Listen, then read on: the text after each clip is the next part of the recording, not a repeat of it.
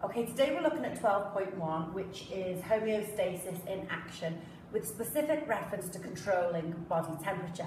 Now, controlling our body temperature has meant that we have been able to live and exploit lots of different environments around the earth so that we can take food from these places and we can survive. So if you think about things, we can live in really cold climates, we can live in really hot climates, but all the time we maintain our temperature at 37 degrees C. So how do we maintain our body temperature? Well, there are a couple of things. As your blood temperature decreases and your blood passes through the brain, the hypothalamus is where your thermoregulatory centre is located. So as the blood passes through the hypothalamus, it notices if blood temperature is a little bit too high or if blood temperature is a little bit too low. Also, this area receives information from your skin. Your skin sends it information about the ambient temperature of the environment and they feed back there.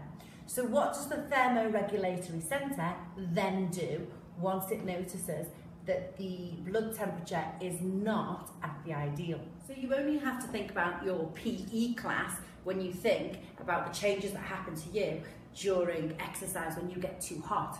Um, so in this case, we're not talking about perhaps ambient temperature, we're just talking about your body temperature because of respiration and the increase in muscle contraction, you have created a lot more heat energy in your body and you've got to get rid of that because obviously your enzymes work at their optimum at 37 degrees.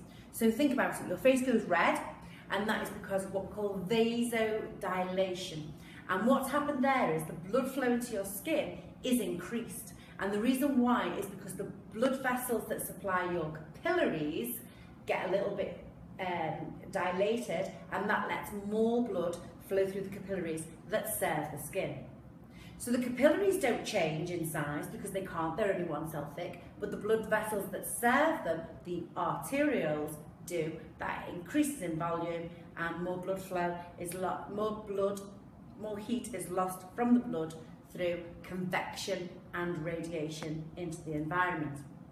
The other thing that you'll notice when you come from PE is that you sweat and the water on your head, really it shouldn't be wiped away because as that water, as that sweat evaporates, again, it takes heat energy from your body with it. And you'll notice if you get something like um, nail varnish remover or ethanol in, and put it on your skin, you'll notice it feels cold. And it's not cold, it's not any colder, it's not been in the fridge, it's just that its evaporation is much quicker than that of water and therefore it takes the heat from your hand as it evaporates off. So let's think about the other extreme. How do we conserve heat when we move into a cold environment? Well, one of the things that, that will happen is that instead of dilating, your blood vessels that supply your capillaries will constrict. And that reduces the blood flow to your skin. So that reduces the amount of heat lost by, again, convection and radiation.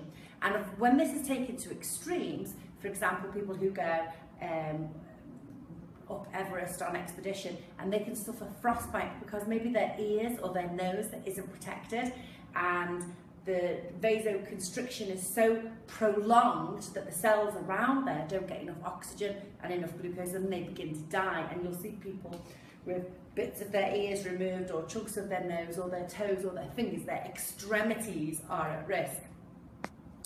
Also, what happens when you get really cold is your body starts to shiver. And shivering is an, an involuntary reaction. You can't start proper shivering, your, it's spasmodic uh, muscle contractions because every time you contract your muscle, you respire more and more heat is lost as a waste product. So we've got a couple of things going on. In order to retain um, heat when we're cold, we vasoconstrict our blood vessels, less blood flow goes to the skin, um, and then the other thing that we do is shiver. And then also, when we are too hot, we vasodilate, and the consequence of that is that the blood vessels that serve the capillaries allow more blood to flow through them. Um, and then the other thing here is we sweat. And as the sweat, the water in the sweat evaporates from a liquid to a gas. That takes energy, it takes the heat energy from your body, so your body temperature is lowered around the ideal of 37 degrees. We're just modelling how the body behaves and um, to, to control one of my variables, I've put the same volume of water in each of these beakers and I'm modelling these different mechanisms. So for instance, this one is wrapped in a paper towel and the paper towel is damp. That models sweating. This one, I've wrapped it in foil and I've given it fins. I've increased the surface area there. In this one, this is my control. This is what I'm going to compare it to.